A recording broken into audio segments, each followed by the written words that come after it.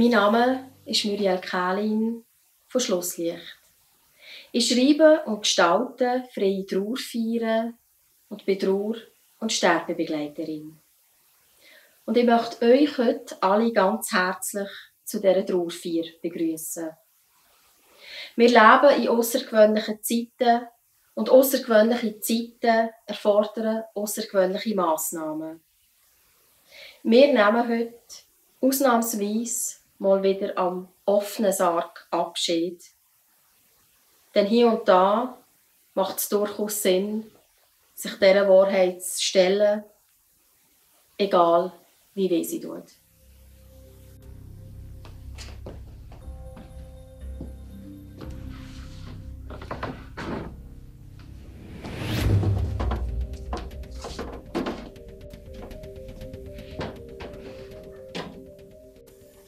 Die Wahrheit ist, wir Menschen sind sterblich. Und zwar bereits von der ersten Sekunde von unserem Leben an. Die Wahrheit ist, egal ob es uns gefällt oder nicht, aber ja, eines Tages werden wir alle sterben. Und die Wahrheit ist auch, dass in letzter Zeit viel gestorben und viel beerdigt worden ist. Jedoch nicht unbedingt das, was man uns hat glauben lassen. Im Moment verabschieden wir uns von ganz vielem. Beerdigen tagtäglich unsere heißgeliebten Gewohnheiten, unsere falschen Sicherheiten und unsere verbogenen Wahrheiten. Und vor allem auch unsere nicht gelebten Träume. Darunter sind ganz kleine Träume, aber auch riesengroße. Einige von diesen Träumen sind für immer verloren und hinterlassen zerbrochene Herzen. Wiederum andere Träume warten geduldig darauf, verschoben zu werden. Und das spendet uns Hoffnung und Trost. Doch wenn ich eins in meinem Beruf gelernt habe, dann das Verschieberitis, wie ich es nenne, trügerisch und krankmachend kann sein. Denn das Leben lässt sich nicht verschieben. Und wie oft habe ich es erlebt, dass Menschen ein Leben lang ihre Träume aufgeschoben haben und immer auf den einen Moment gewartet haben, wo sie dann glaubt haben, es sei der richtige.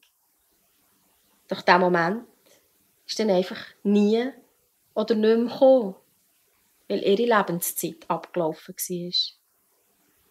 Denn auch der Tod lässt sich nicht verschieben.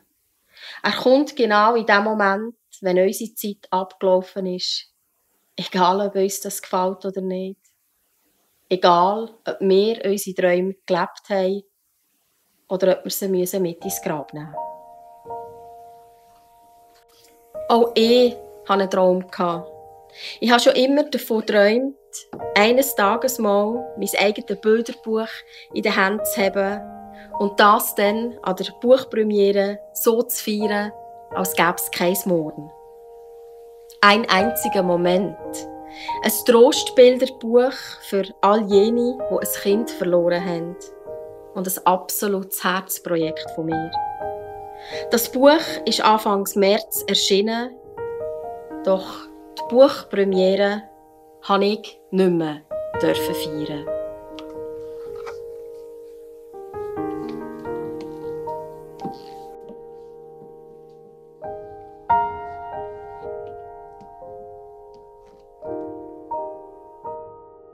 Natürlich ist das Gute an Büchern, dass sie nicht verderblich sind und auch kein Ablaufdatum haben. Der Traum von der Vier kann also verschoben werden. Und ich glaube auch ganz fest daran, dass das Leben mir die Zeit noch schenken wird. Und trotzdem wird es nicht mehr ganz das Gleiche sein. Denn was ich jetzt noch nicht weiss, ist, dass eine Person, die ursprünglich mit mir hat feiern dann nicht mehr da sein Weil sie keine Zeit mehr hat.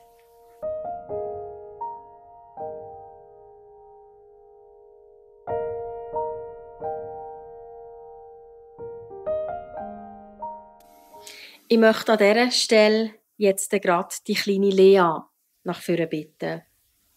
Die Lea hat am 21. März Geburtstag. Sie ist fünf geworden und hat sich so sehr auf ihre Glitzer-Einhorn-Geburtstagsparty mit all ihren liebsten Freunden gefreut. Und ganz ehrlich, sie hat überhaupt nicht verstehen wieso all ihre Freunde wieder ausgeladen werden Und genau darum hat sie an ihrem Geburtstag auch ganz, ganz fest brüllen.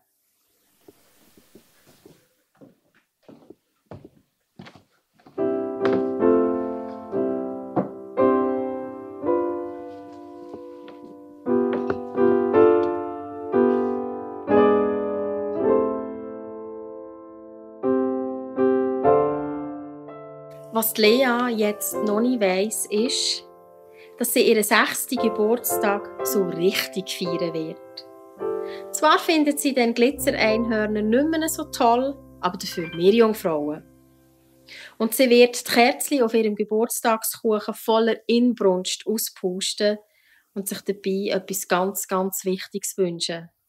Nämlich, dass ihr Omi, wo im Spital liegt, wieder gesund wird, damit sie dann zumindest zusammen Weihnachten feiern können.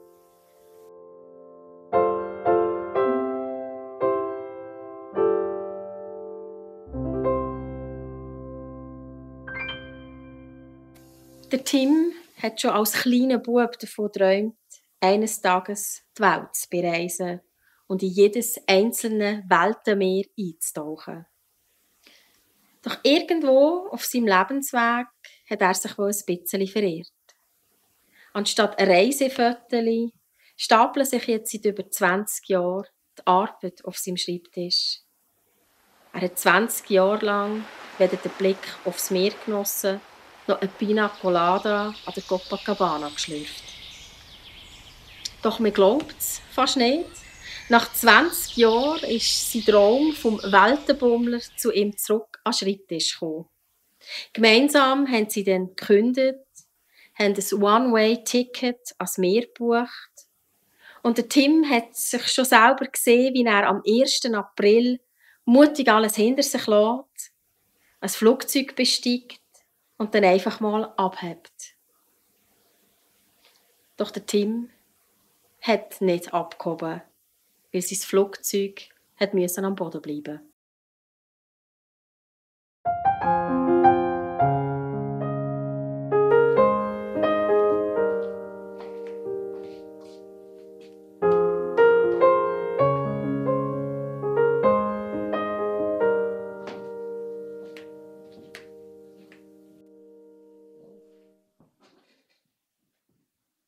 Was der Tim jetzt noch nicht weiss, und das sind wirklich richtig gute Nachrichten, ist, er bekommt nicht nur sein Geld für die Reise zurückerstattet, sondern er verliebt sich auch in die Sachbearbeiterin vom Reisebüro. Und gemeinsam werden sie genau heute in einem Jahr Eltern von einem kleinen Bub. Und der kleine Bub wird eines Tages die große, weite Welt bereisen und sein Papi dann von überall her Postkarten schicken. Und für jede Postkarte, die der Team überkommt, wird er ein paar Tränchen vergießen, weil er sich so sehr freut. Aber auch, weil ihn jede einzelne von diesen Postkarten immer auch wieder ein bisschen traurig macht. Denn sie sind auch wie ein Mahnmal und ein Grabstein für seinen eigenen Traum.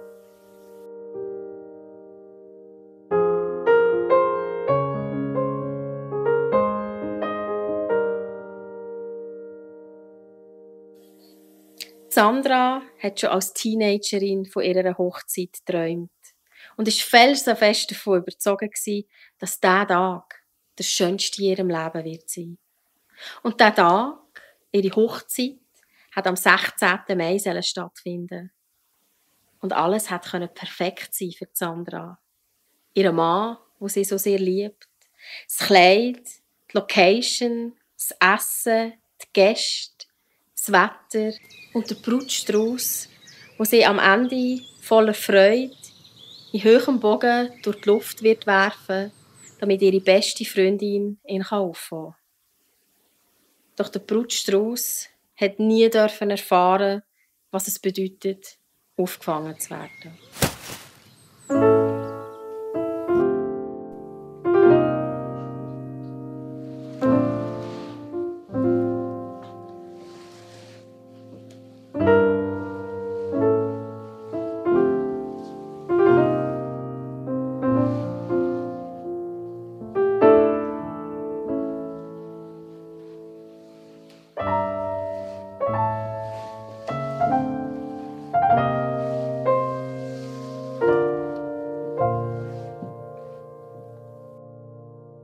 Was Sandra jetzt noch nicht weiss, ist, sie wird ein Verschiebedatum für ihre Hochzeit finden und alles wird fast genauso perfekt sein, wie sie sich das ausgemalt hat.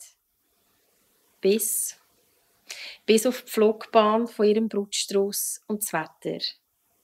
Ihre beste Freundin wird nie heiraten. Und am schönsten Tag in Sandra ihrem Leben regnet es.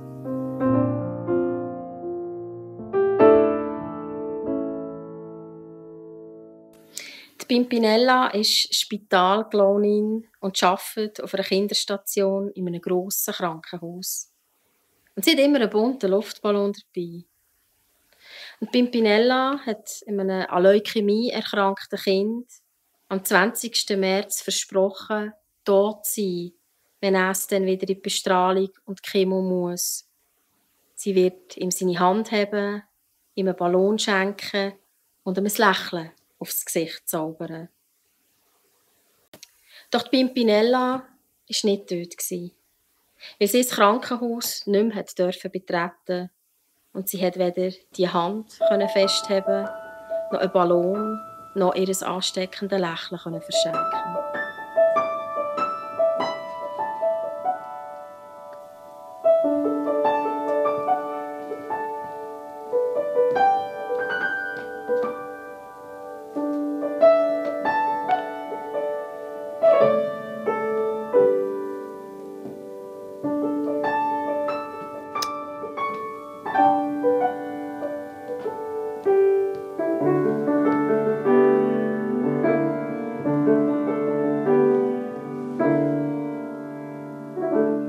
Was Pimpinella jetzt noch nicht weiss, ist, dass sie das eine, letzte, nicht verschenkte Lächeln beerdigen muss.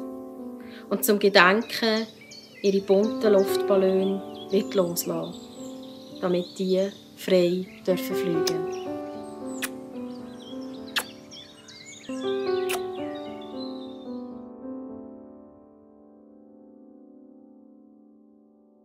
Markus ist schon immer ein großer Bewunderer vom französischen Spitzenkoch Bocuse Und er hat davon geträumt, eines Tages sein eigenes Restaurant mit dem Namen Chez Marcus zu eröffnen. Und er hat sein ganzes Geld und Herzblut in diesen Traum gesteckt.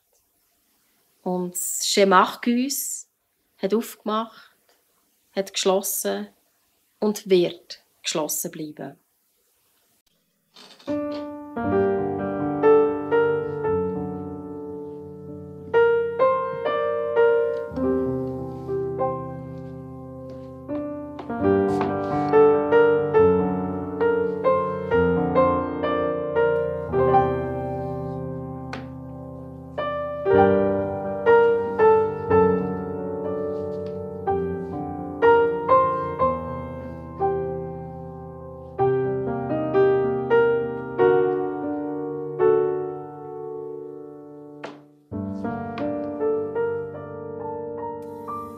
Was der Markus jetzt noch nicht weiss, ist, dass er sein Restaurant in eine Suppenküche wird umfunktionieren. Und er wird überall bekannt sein dafür, dass seine Suppen angeblich die weltbesten sollen sein.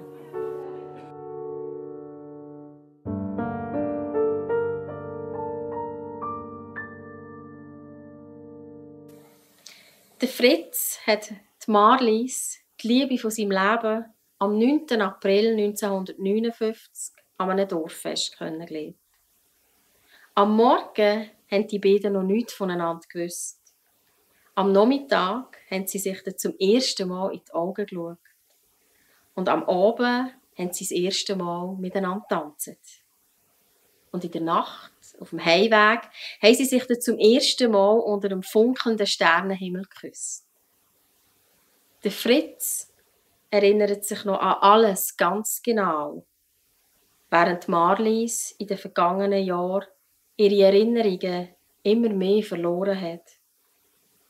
Vor einem Jahr ist sie dann ins hiesige Alters- und Pflegeheim gezügelt und liegt jetzt seit dem April durch dem Sterben. Der Fritz hat am Hochzeitstag unbedingt noch einmal bei ihr vorbeigehen und ihr sein letzten Liebesbrief an sie vorlesen und sie ein letztes Mal zum Abschied küssen. Doch das Alters- und Pflegeheim ist abgeriegelt worden. Die Marlies hat am 9. April vergebens auf ihren Mann gewartet und ist am 10. April gestorben. Der Fritz hat nicht nur seine Frau, sondern auch seinen letzten Liebesbrief und jedwede Menschenwürde müssen beerdigen.